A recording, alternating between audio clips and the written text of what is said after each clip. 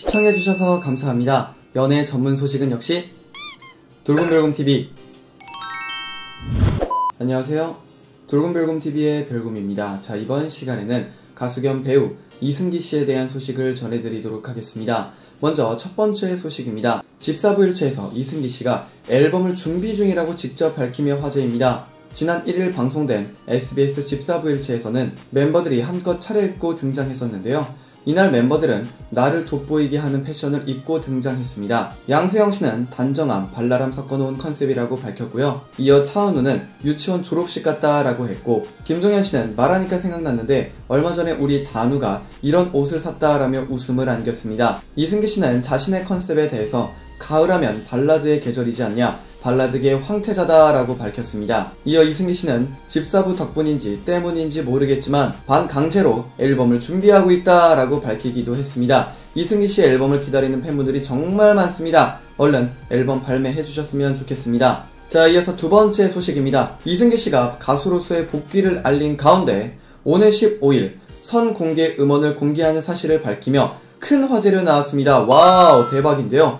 선 공개 음원이 나온다고 하네요. 이승기 씨는 지난 7월 SBS 집사부일체를 통해 선보였던 금지된 사랑 영상이 유튜브에서 조회수 무려 700만 회를 돌파하며 초유의 화제를 불러일으켰던 상황이 있었습니다. 금지된 사랑 영상과 관련해 다양한 포털 사이트 게시판과 유튜브 영상의 댓글에는 이승기 가수 복귀를 희망하는 열렬한 염원이 쏟아지면서 이승기 씨가 가수 복귀가 시급한 스타 1위까지 등극을 하는 등등 팬들의 강제 가수 소환 요청이 광풍처럼 휘몰아쳤습니다. 여러분 구독과 좋아요 잊지 마세요.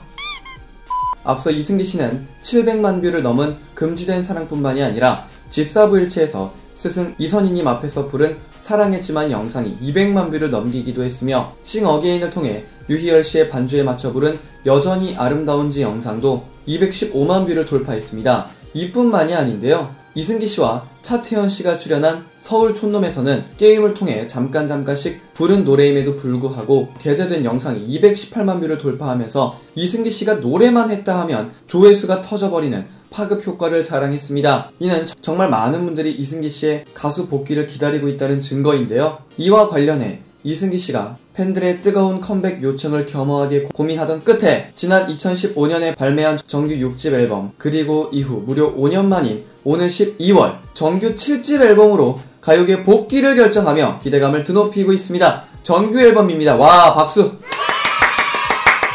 와, 아 이거 정말 대박입니다. 와, 너무 좋은데요. 무엇보다 이승기 씨가 정규 앨범 발매에 앞서 오는 15일 정규 7집 앨범 수록곡 중 한 곡인 뻔한 남자를 전격 공개할 예정이어서 초미의 관심을 모으고 있습니다. 더욱이 뻔한 남자는 이승기 씨가 이 시대의 음유 시인으로 불리는 히트곡 메이커이자 가수 윤종신 씨와 처음 호흡을 맞춰 선보이는 심금을 울리는 발라드 곡이라고 하는데요. 가수 박정현 씨의 데뷔곡인 나의 하루를 비롯해 성시경 씨의 거리에서 넌 감동이었어 등등 수많은 명곡에 짙고 감미로운 감성을 터뜨렸던 윤종신 씨와 발라드계의 황태자 이승기 씨가 역대급 하모니를 완성해 나가며 2020년 하반기 대한민국을 따뜻한 감성으로 물들일 전망입니다. 아, 정말 너무 기대가 많이 됩니다. 특히 이번 작업에서는 윤종신 씨가 음악을 위한 이방인 프로젝트 등등 스케줄에도 불구하고 이승기 씨의 부탁에 한달음에 달려와 작업에 나서며 그 의미를 더하고 있습니다. 뻔하지 않은 남자, 이승기 씨가 전하는 뻔한 남자는 어떠한 감성과 스토리를 전하게 될지 이승기 씨와 윤종신 씨가 만들어낸 감성 시너지에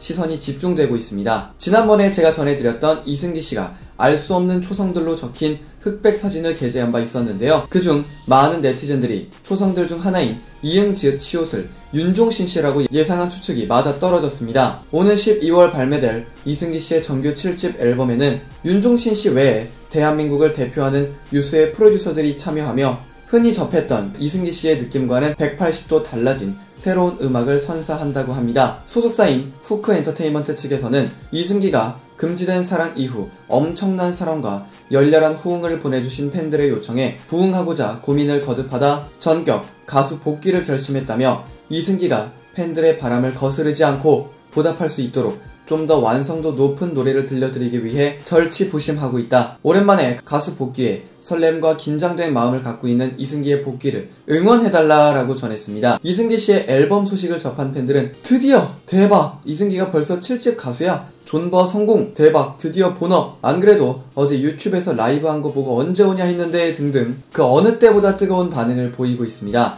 지난 저희 돌곰별곰TV 영상에서 댓글도 정말 폭발적이었는데요. 먼저 닉네임 송영숙님께서는 이승기 is 뭔들 가수도 기대 기대라는 댓글 남겨주셨었고 이하님께서 이제 쭉 행복한 일만 있기를 이라는 댓글을 남겨주셨습니다. 또한 마지막 안민웅님께서 이승기 짱짱짱이라는 댓글을 남겨주셨는데요. 정말 이번 이승기 씨 앨범 너무도 기대가 많이 됩니다. 화제가 되었던 가수 겸 배우 이승기 씨에 대한 소식을 전해드려 봤습니다. 여기서 잠깐 여러분들의 최애 연예인분들이나 각종 정보 기사 등을 댓글로 요청해 주시면 직접 선정하여 방송해 드릴 예정이니 많은 참여 부탁드립니다.